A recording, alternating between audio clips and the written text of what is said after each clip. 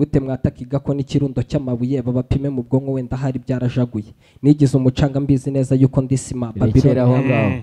Wigize umucanga ni ukuvuga ngo wicishije bugufi kandi uri ikintu kirenze. Sima irenze. Ibintu ndabisobanura. Ntumfatirane washakaga akaba ariyo ubona kabisa. None se buri utekereza ko nka nsengiyumva aganira gute na producer? Sengiyumva Sengiyumva we. igisukusu hoya baraganira deja kuko na Sengiyumva deja ni umumizisiye ni n'umucuranzi ni n'umucuranzi bro. ni n'umucuranzi. Eh, eh. ntabwo wapfa gucuranga. Deja nyine buriya arabicuranga producer kumva sanse bishaka gukorana nk'impumyi ntabwo gukorana n'impumyi. The Choice Live. alright yitwa kabara nkuru icon. Welcome muri the choice live bro. Umeze neza se you get aforme ako bamaze iminsi se bavuga iki ku basore bafite dreads man? Eh, ngo ntabwo banywa amazi right? Urayanywa Eh. urayanywa Ah. ibyo bavuze ariko ubanza batavuga direde nk'izi ngizi Eh, niyo mpamvu wayanywa ni iki kiba cyaguteye icyaka kabara nko ni iki kiba cyaguteye icyaka Mm. njye nk'iyo nkoze siporo mpita ngira icyaka Mm. Mm. ese utandukanya gute icyaka ni- n'inyota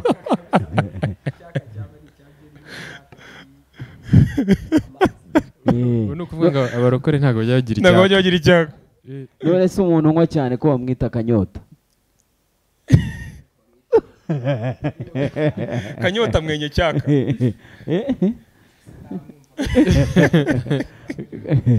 yeah, kabara nkuru track yawe tumaze kureba hariya yitwa Loki ushaka kubikora Loki ibiki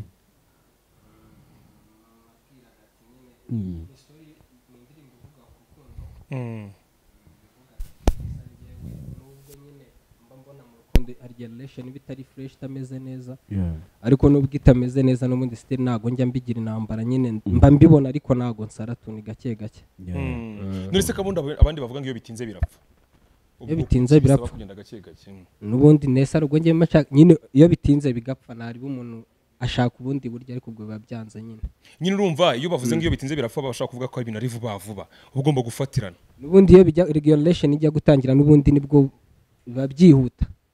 Biba byihuta ariko iyo bijya kurangira ni gake gake gashiduka Ah, bya byari bigiye kurangira. Mm. Okay. Okay. Uh, ni track yawe ya kangahe? Ni iya gatatu ariko navuga biri professional yaba ari iya mbere.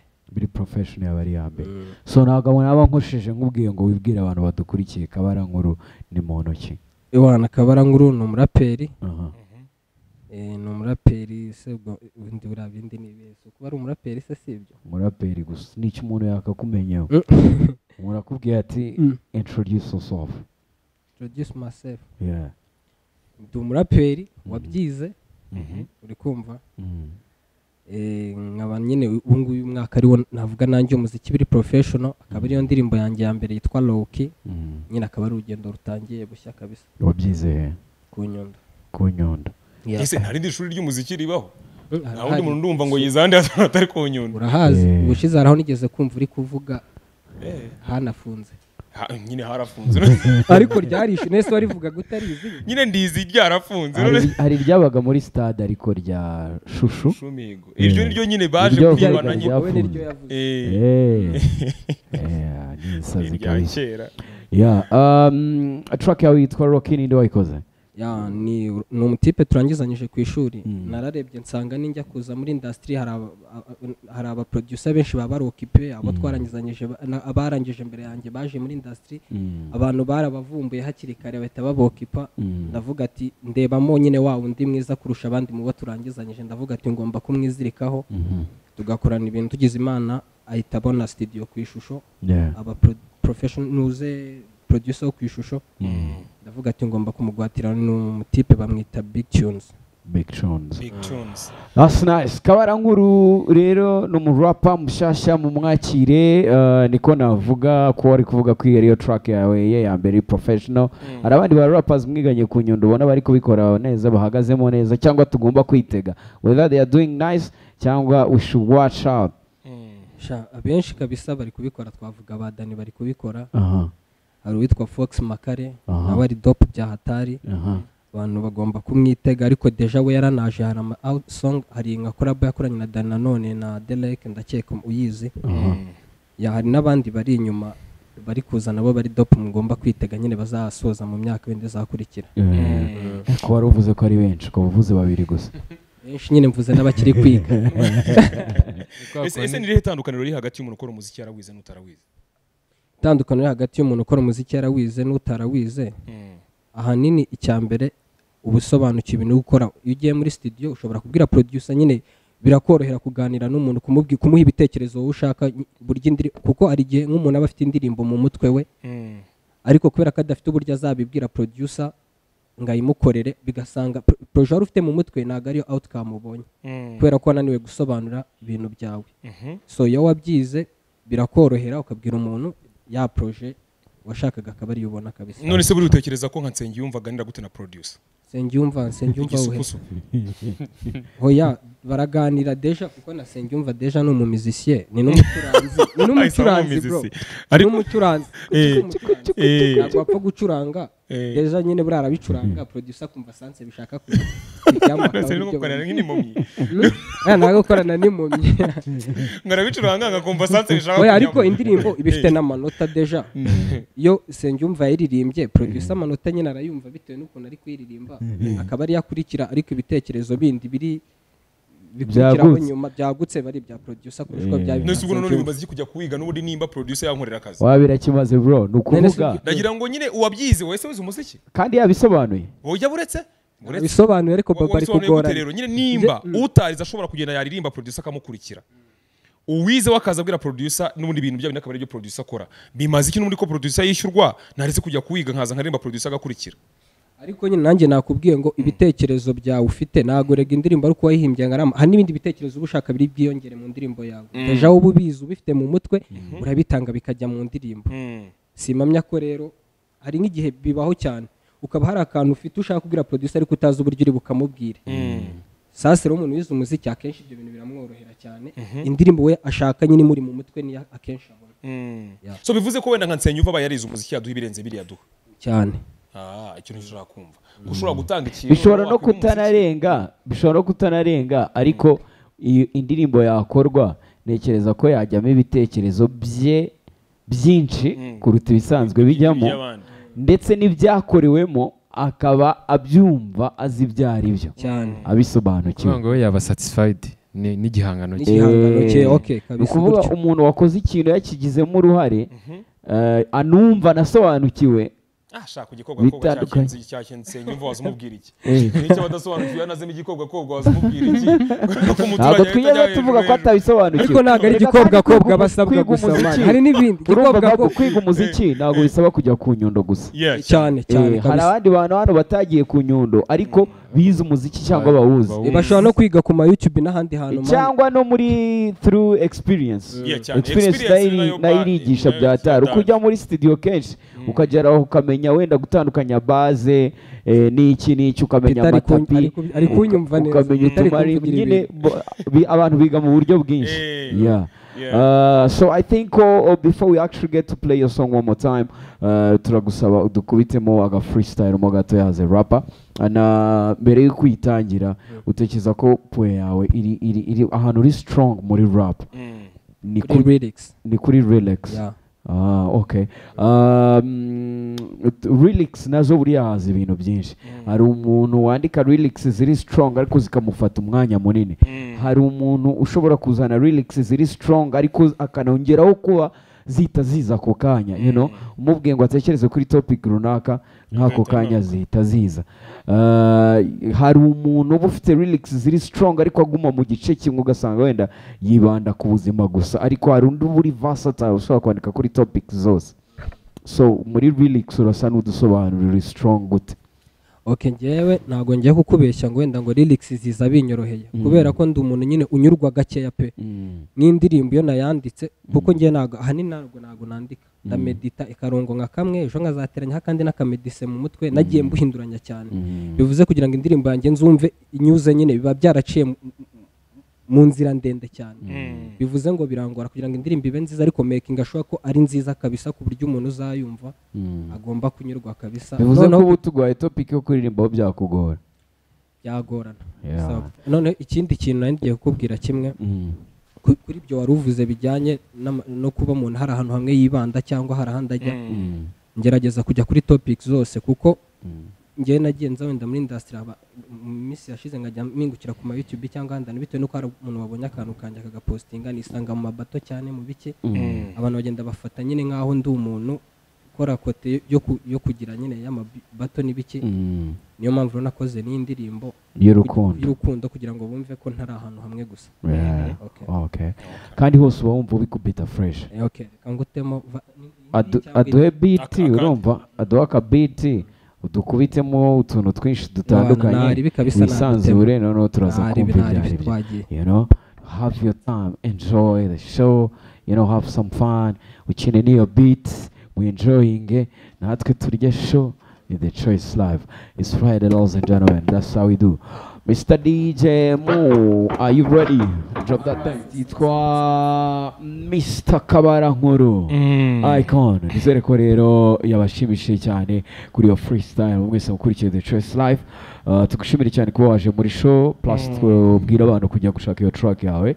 Uh, YouTube channel yawe yitwa Icon. Kabara Nkuru Icon. Okay, yo nahanganye n'abagabo none banzaniye agakumi ubu ngubu ninjye ubazaniye indi ngoma hano kuri tv yo bro ngo abana b'ubu sinzi impamvu mwashiritse ubwoba. Inde wababeshye ko wakataka igako n'ikirundo cy'amabuye babapime mu bwonko wenda hari byarajaguye. Nigize umucanga mbizi neza yuko ndi sima. Babiloni nkawe kenshi ubundi mpita nzihina. Amahirwe agize none nuko ndi inshuti na nyina. Ubutaha nzahita nguhina yo. Uretse guca bugufi no kubaha abasaza. Nta muraperi undenze kuri ubu ndetse n'ahazaza. Na Eminem anyiyongoje namuhutaza. Nkaswa kana nkawe impano katarayityaza ngaruke kuri wowe ufite screen urimo ndeba gusabye kunyumva gusa si ngombwa kunyizera. Niba atari nge muraperi ufana byo ku mutima na muziki na mucyo uziri hasi cyane nka sima. Mfite imbaraga z'umusiramu usoje gufutura bivuze ngo ibyinyishi nyikubu ngiye kubikura. Njye n'abafana ubusanzwe ubundi ntitujya duhura kuba nabikwemereye bro ni ukuguhumura. Hip hop ari igitanda waba warabuze indaro papa ari igitanda waba warabuze indaro uri wa mufundo ugishyira amakaro mu kiraro ku myumvire uri hasi cyane nk'amatabaro n'ababyeyi bavuga ko wababereye umutwaro Skli, skli. ski ski Yeah. Kabara Nkuru ladies and gentlemen. Asusa. Niba ngo hari uwundi muraperi uzi umurenze. eh Eh, ntabwo uzi umuziki ntabwo mani uzi ndetse uri umuziki hasi na kare. sima Na uri sima. hasi Na sima. sima Oya, ndavuga Mm. ngo ngaruke kuri wowe ufite screen uri mundeba. Ngusabye gusabye kunyumva gusa si ngombwa kunyizera. Niba atari nge muraperi ufana byo ku mutima nta muziki na mucyo uziri hasi cyane nka sima. Eh. duhanganye iminota myinshi wamara ni zeru. Dushaka ndabyoroshya kuko ufite ubufasi bwa ariko bw'abademu hari ukuntu lyrics zawe ziri controversial ariko? Ziri ko ngo ari hasi? Nka sima. Cyane. Niba atari nge muraperi afana byo ku mutima nta Eh. muziki na mucyazi ari hasi cyane. Kandi Nka sima. Kandi mbere wavuze kuri sima. mbere yavuze ngo ngo ngo ngo nigize umucanga. Kandi ndi sima. Ngo kandi ni sima. Kuvuga reka nkubwire. Reka so nkubwire controversial bro. Reka nkubwire akantu ndi kukubwira. Eh. nta kintu mba nshatse kuvuga Eh, Umucanga- ugasubiremo. Ngasubiramo ahantu gatangira. Eh. ndavuga ngo Mm. abana b'ubu sinzi impamvu mwashiritse ubwoba. Gute mwataka igako n'ikirundo cy'amabuye babapime mu bwonko wenda hari byarajaguye? Nigize umucanga mbizi neza yuko ndi sima ngaho wigize umucanga ni ukuvuga ngo wicishije bugufi kandi uri ikintu kirenze. Sima irenze. Ibintu ndabisobanura. Ntumfatirane sima hano navugaga Eh. ni sima nyine itarakoreshwa itarubaka. Itarubaka aho- kuri kapati ka mbere Eh. n'umucanga ukwawo Mm. bamubwira ati nigize um- umucanga mbizi neza yuko ndi sima Mm. ariko ntabwo navuze ko sima nyine sima iyo ndi kuvuga ntabwo mvuga ko sima yoroshye Mm. mvuga ko iri hasi nyine ikorerwa hasi ariko ntabwo navuze ko yoroshye Eh. ah ariko birumvikana ya birumvikana Okay, that's what's up. So, uh, yakoze cyane rero kabara nkuru. Ladies and gentlemen, hope to see you next time n'izindi track nyinshi cyane amahirwe masa. blessings In the choice live. Sinzi niba hari akantu nakongeraho gatoya Ntacyo bitwaye. okay hari hari muri no minsi hari akantu ndimo ndategura turi gutegura n'abandi bantu kajyanye n'ama hip hop battles Mhm. ku baraperi nyine Mm. abiyaminiye kabisa bumva ba- ba- bakanganye baryana Yeah. hari agashoro turi gutegura kabisa kameze fresh k'abaraperi kuko abaraperi bose urabizi bavuga ngo ni ba kongwe ngo ni iki Mm. twateguye show irimo abaraperi benshi cyane kabisa hano muri uyu mujyi wa kigali baryana bya hatari Mm. Izaba ryari izaba izaba ryari? ro 31 izaba kuri kuri izere art gallery Mm. ewana ni y'abaraperi nagana he ni sonatibe kwa kwitwa izina kwizera sinzi niba umuzi wari ufite yitwa na lord gera Mm. afite aha boro press nini iberamo boro za nyine amashow menshi cyane Mm. Mm. so umuraperi waba uri wiyaminiya ari kundeba ariko adapigapiga yanyandikira and then Bakwandikira he? pulaping ni Ya- kuri ig kabarankuru icon kabara nkuru Okay. Icon Yeah. na sosapu hari ikintu bisaba kuzamo ni ukuba wiyamenye gusa nk'umuraperi. Aho ni kuri koti y'abaraperi. Mhm. ariko noneho kuba kubatendinga kureba show Mm. ni 5k ticket kwinjira okay ku itariki mirongo itatu n'imwe z'uku kwezi kwa munani. Asosa so tumushimire cyane. And of course bounce to the track ladies and gentlemen yitwa rocky kabara nkuru We'll be right back, stay tuned. And of course, still rocking and of course vibing the hip hop music. Mfite abasore hano babiri nabo bakora rap and hip hop. Uh, baha ikaze namwe muri studio za The Choice live kuri siwa TV. What's good my brothers? Mumeze Neza. alhamdulillah Aile. Uh, we bakwita yitwa fox makare aka maka fox maka rapa maka mobi nyine mishumi yishe nyine imishweko dasasa Yeah, like that. Nicyo nendaga kukubwira ngo eh, abaraperi baba bafite ukuntu kwivuga. I wanna give you some more time man. Wibwira abantu badukurikiye. wam mfite byose mu ntoki mfite genge n'amahomi mfite hayi ndagakoni mfite peji z'amastori mfite proti z'ibirori mfite kwimara amasoni hasaba mukamusoni nkamugira umutegarugori mfite kwimara taki mfite guhamagara pita mfite no gusuka imisatsi mufite no kunkomera amashyi mfite swegi z'abakapo mfite lirikisi n'amagambo mfite guhorana ijabo se mfite no kuniganwa ijabo meze fureshi mfite aho mba n'umutekano ntacyo nzoba mfite no gushirika ubwoba mfite no kwimara inyota thank you god mfite roho mfite dozo kurya inkoko mfite no kwimara wow Fox Makare. What's up? Welcome to the show one more time. urakoze urakoze Uh, on the other side, what's good my brother? Yeah, good. Bakwita nde wowe? Yitwa Muziki. Inde? Oba Muziki. Oba Muziki. Eh, ubwo ngubwo tugize undi muntu ufite muziki. Nyuma ya Iva Muziki Eh, na Juda Muziki ubwo tugize na Oba Muziki. Nawe uri umuraperi? Ah, njye ni umuririmbyi. wowe uri umuririmbyi.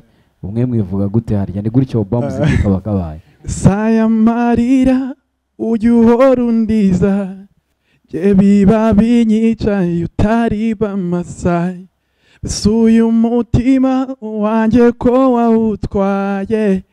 Ayiwe mana we mbona uzanansaza Oba Muziki. Yeah, yeah. na Fox makale ladies and gentlemen muri studio za Isibo TV you guys have a song together. Uh, I think we should watch it first mukadukubitamo n'aka vibe and then we'll be right back. What do you think Mr. DJ Yeah. Thank you. What a beautiful song, ladies and gentlemen. It's amazing. I like it.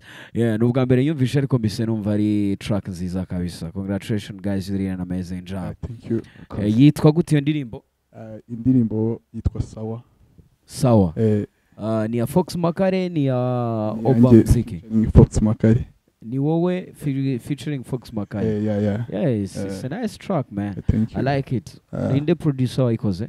Bamwita yewe Yewe. eh, yewe Ah, yewe. eh, Eh, ndamuzi kabisa. Uh, Fox uyu mutipe se mwahuye gute like kugira ngo mugire igitekerezo cyo gukorana iyo track? uyu mutipe ni inshuti yanjye oba oba oba muziki ni inshuti yanjye big time kuva ku ishuri twariganaga hanyuma eh, njyewe ubusanzwe ntago mbonago ndazama umuziki biri official mbega na ibintu ah, imiziki yagiye na- na- n'abashuti banjye bagiye bamfyusharinga gutyo baka ntago ndaza biri official. Sasa obadia nawe ari mu ba- mu bakoze igikorwa kimwe gisa nk'icyo nyine nawe aranyegera arambwira ati twabikora twabikora. Ndamubwira ati kabisa tubikore tubikora gutyo. Ariko Obadiah ni n'inshuti yanjye mu buzima busanzwe ntabwo ari kuvuga ngo twahujwe n'iyi track wapi. Inshuti yanjye mu buzima busanzwe sa bivuze ko nta ndirimbo yawe irasohoka tu. Ku giti cyawe bo ingoma yanjye yitwa ko yasohotse nabwo ntabwo yasohotse kuri platform zanjye yitwa wapi. Sinzi ushobora kuba uyizi bavuga ni ufite kebo wapi. Ufite moni wapi. Ufite icyana? Wapi. Habe na kimwe? Wapi. Ufite icyunywa? Wapi. Ufite icyo urya wapi. Ufite ikibazo? Wapi? Wagize ubwoba? Wapi? Niyo ngiyo mba nkomeza mvuga nti gutyo Eh, that is big time. Ni yawe kumbe? yapo ni yanjye. Eh. sasa ukuntu byagenze na yo ya- ariko ishobora kuba yarasohotse mu buryo butari official. Ya ukuntu yasohotse eh, ya Danny Beat ubundi nayikoze njye na Nilan. Nilan sinzi niba muzi twariganaga Nilan. Sasa tu Nilan yari ari kwiga production ari njye nyina yigeraho kabisa ma beat yose ari njye yagwamo tu recordinga gutyo. Sasa tuza Danny Beat yaje kudutiza studio ni bwo bwa mbere twe tubonye studio ya fresh noneho sasa. Turagenda muri studio. Sasa twakoze iyo ngoma arayikunda bya danje noneho sasa tuza kujya ku ishuri tujye ku ishuri icyo gihe haza n'ama lockdown ubwo sasa ara- aransaba arambwira ati man ndi gusohora ngiye gusohora ka EP hariho ba Kivumbi ba Enjomton wamfasha na yo track yawe igiyeyo ikaba ari na yo yitirirwa EP yanjye byaba birenze byaba biri sawa cyane mbanza kubyangamo ndavuga ati se ndasohora ingoma gutya mu buryo ntanahari gutya mbanza kubyanga ariko nza gutekereza ndavuga ati man n'ubundi iyi ngoma mfite ni nyinshi iriya nayijyane reka nyimwunganire ayijyane sasa yaje gusohoka gutyo nabaye na trend abantu barayumvishije. Yapa niyo ngiyo nuko byaje kugenda kabisa. Ntago yasohotse biro official. Nk'umuhanzi mvuge ni ndaprodinze yapa ndumva DJ ari imbere cyane ushobora kudukubitamo aka vibe yayizamura wow. Tu habe na sounds like you were talking to me. Wagira ngo nijye yari arimo aravuga man. Nta kintu na kimwe nibereho ko mumbona aha ngaha kabisa. Noneho narengiza nkakora ikosa ryo kubona hano ubwoba mfite bro. Eh, ubayeho nta cyana nta cyo kunywa nta cyo kurya nta kebo warangiza ukaba udafite n'ubwoba. Bw'ahazaza iyo ngoma nyandika kabisa naratekereje hari abaje baba bameze gutyo. Eh. gusanga umutipe nta nubwo umutipe afite akazi keza fresh ameze neza ibiceri biraboneka ariko nta n'inzoga anywa wenda nta n'itaba anywa nta n'ababebi n'ababebi bakubwira ko wapi. Ariko ugasanga umutipe nta n'imitungo ifatika afite na crib cyangwa imodoka nziza afite ukibaza se amafaranga yajya hehe. Ahangaha rero nari ndi kuvuga ko ajya hehe kwa mama nyenya ari hajya. Umutipe mu busanzwe uramubona nta nzoga nta tabi nta nubwo am- eh, wanaba yambaye neza cyane ngo uvuge ngo ibiceri bye bigendera mu kwiyitaho. Wenda nta nubwo aba ari kuri move ngo ubone wenda ibintu bigaragarira amaso kuko birwana kwa amafaranga mama yajyaho sasa ubwo nari ndi kuvuga mama nyenya we naravuze ati ubanza u- yaha mama nyenya eh, akakwihera umunyenga. Eh, sasa ubwo nari nshatse kuvuga ko ubwo se mama nyenya se siwe cyana? Ni we cyana kuko urumva yarabihakanaga ubona Mm. mba mvuga hari abatipe bahakana ibintu Ah. wapi nge ndi gutya ntacyo ntacyo wapi shamise ntacyo." numva atari njye wavugaga kabisa Eh, mpisemo ni ingingo indengera kabisa numvishe ko atari njyewe ya uh, that was Fox Makare ladies and gentlemen ndetse na Oba. Muziki uh, harabura iki rero kugira ngo uzasohore indirimbo zawe nkeneye ubufasha ubufasha nabwo burimo ubufasha ari bw'ubu bwose ngize imana nkabona nka management byaba birenze. Ariko yap alhamdulillah wenda ibyo ari byo byose bizakunda. ariko warazikoze. Impamvu Na- zidasohoka ni uko bakwishyuza cyangwa uko ari wowe udashaka kuzisohora bo in- hari izo na- na- nazikoze. Impamvu zidasohoka ni bwa bushobozi bwo kugira ngo zishyire ku rwego ushaka ko ziba ziriho. Yeah. ebana amahirwe masa kabisa reka tutegereze turebe ko bizakugendekera neza ukabona uko ubishaka and then tukenjoyinga talent yawe. Uh, oba muziki wowe ni track ya mbere ukoze? Iriya iriya nakoranye na fox makare ni iya gatatu mfite n'indi nshyashya yasohotse ejo bundi oya yitwa mutima eh, yitwa mutima. Eh, so kuvuga ufite ufite Indirimbo enye. na fox makare ufite n'iyindi nshyashya yitwa mutima. Mutima. So which one should we pray? Hari amahirwe yuko twasubiramo iyi ngiyi Eh, hari n'amahirwe yuko twashyiramo umutima dushyiremo umutima dushyiremo umutima eh, niyo nshyashya alright Eh, so baguceking out kuri youtube channel yawe yitwa obamuziki obamuziki mu umuziki mu kinyarwanda instagram boom spotify hose na Hose audio ni mark gutyo ya witwa. obamuziki obamziki Yeah, yeah. everywhere show some love. Uh, fox makare ngira ngo we nta youtube uragira ko nturarekura wapi Ko wapi. nturarekura nayo imizigo nayo kabisa. ndagira. Ako Yeah. social media zindi urazifite Yeah, zo ndazifite ndazikoresha. You on instagram. Yeah, fox makare makamubi kuri instagram. Maka maka makamubi makamubi yeah, mu ko kinyarwanda bisoundinga nk'igiswahili se ah, ah, ni makamubi wabisoma makamu ah, ntabwo ari igiswahili ni ikinyarwanda. Uh, most of the time spending kuri instagram. Uba uri kureba iki? Ah, mba ndi kureba kureba abaru- mba ndi kureba scrollinga nkareba uri kure- kureba iki nyine? Uri kureba Uri kureba. Mba ndi kureba ibyabaye ibyatambutse ibigiye kuzaba ibintu nk'ibyo. we um, ni apudeti tu. Ukuvuga ngo ubaye umunyamakuru wadutamo ntabishobora ariko amakuru ho mba mfiteho nyine make make ok mu bantu bose forowinga mm. bakubwiye ubandi forowinga usigarana umwe gusa. Ariyo peji yonyine uzajya ureba. Yaba ari iyande ah, ko nkuta abantu benshi bagiye batandukanye. Eh, Aba ariyo peji yonyine usigarana. Umwe wenyine tekereza neza bro.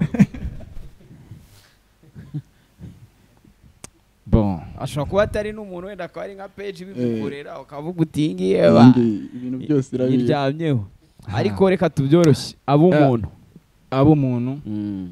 sasa abaye umuntu ah, guhitamo bigiye kungora kuko mfite ama choices nk'atanu. Eh, gerageza kabisa uhitemo umwe kuko ndibaza ko niba uzakora ubukwe ntabwo uzabatwara batanu icyarimwe aya na- nasigaza umuntu umwe wenyine bita Eminem ndamufana cyane arankoma cyane ewana numva imirongo ye nkagira ubwoba rero inkora ahantu ni- ni we wenyine wenyine njye nasigarana kabisa. Eminem ni nawe model ubwo ngubwo. OG we na. Kendrick so mutima niyo track tugiye kubatamo turacyafite n'abandi batumirwa big shout out kuri obamziki ndetse na fox makare for pulling up. And then we see you next time ladies and gentlemen. Uh, nimusohora indi ndirimbo any other project tuzongera tubonane? Kanya turagaruka n'abandi batumirwa man. Stay tuned mutima. Nawe twita trigger dance. Uh, muri bangahe? Ah, niko tu- tubona tu uko muri aho ngaho muri bane. Yeah. Uh, we witwa? Cobra. uragenda ukora no ku bandi umbwira amazina yabo. Anyita Eli Lonteo, aha Cobra Nation, aha Sticky Boy, aha Casey. Okay. Uh, so when it comes to diversities ndabizi muri groupe mukora repetition mugashyira hamwe ariko hari ukuntu uba wizera buri muntu ahantu afite imbaraga. Wowe wihereyeho wiyizera ku bijyanye no kubyina iki? Ewan, J Bora zose muri team. Ewana nisangamo. Wisangamo. Twagiye mu kinyarwanda. Bagufashe microphone bagukomera n'amashyi y'ikinyarwanda. Cya cya cyane mumukomere amashyi y'ikinyarwanda.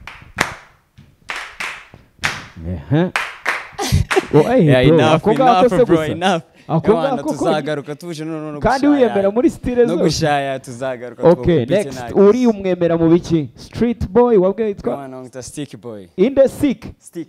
Stick. Stick. Stick boy umwemera mu biki ewantu yuno noho ikintu bita leg work leg work ya umwicanyi eh, icyo nzi cyo uh, ritme warayivukanye ntabwo ari ngombwa ko DJ igoha use your legs.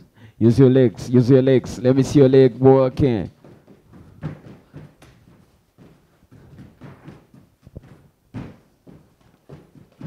kachaka kakaka. Yeah.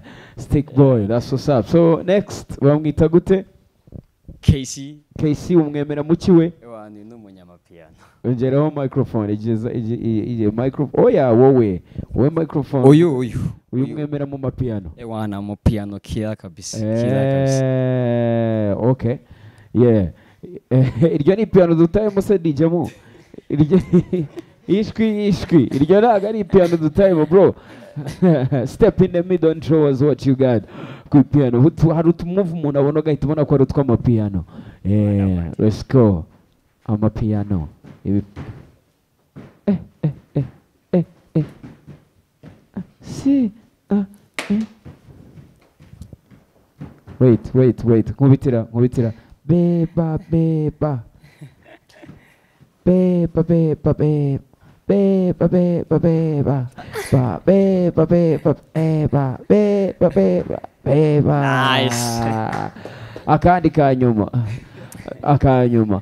Dali mwaga, dali sema manamba, dali mwaga, dali sema manamba, dali mwaga, dali sema manamba. Asusa wanyu mung'emera mu kirero. Ewa niba mwitalonteo Yitwa lonteo ronteo ewana umwemera muki se ko mbona wagira ngo ni uwa kera. Ishuri rya kera. Uyu nguyu ni umu ni afro. Akubita afro. Afro afro Shiny. afrozis afrozi afro Afro. house. Uh, abe abe dancehall. Mm. afro house nyine yajyamo tu reka yivugire. Boro ukubita cyane n'izihe maje wiyamiriyamo na afro.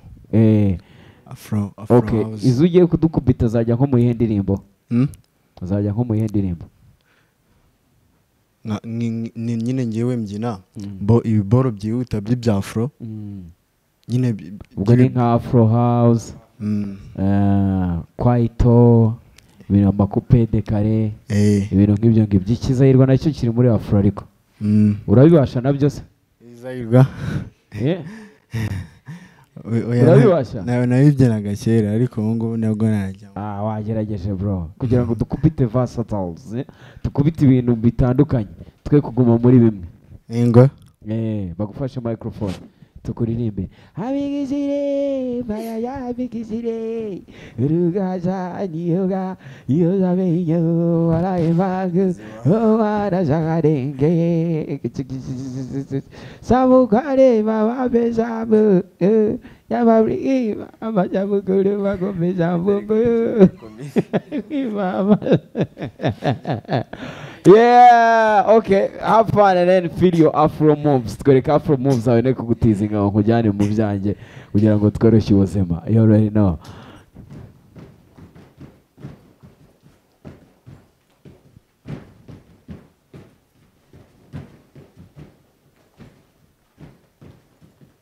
Oh, the B, more with the Va, Va with the Mo, Va with the B, more with the Va, Va with the Mo, more with the Va, Va with the Mo, get more than give the Va. Let's go. Yeah. That's what's up. So abatipe rero mubambera amashyi abantu mudukurikiranye nabo bayikomere cyane. Uh, mukomere amashyi cyane. If you guys can dance uh, mutarimo kumva indirimbo it's really amazing. I like it. Uh, mumbwire social media zanyu ni izihe rero kugira ngo abantu baba following. social media platform zacu zose ni trigger dance Trigger dance. trigger dance to niryo zina trigger dance. Dance cyangwa dancer. Trigger dance. Dance trigger dance. That's nice. Mubashakishe kuri instagram twitter facebook hose hose kabisa uh, ubundi mubashyigikire support them n'ababyinnyi beza and i guess ni nangaha dushoreje show yacu. Thank you so much for coming through. Make some noise and of course clap for yourselves. Mwikomera amashyi menshi cyane trigger dance as always gentlemen. Till next time. The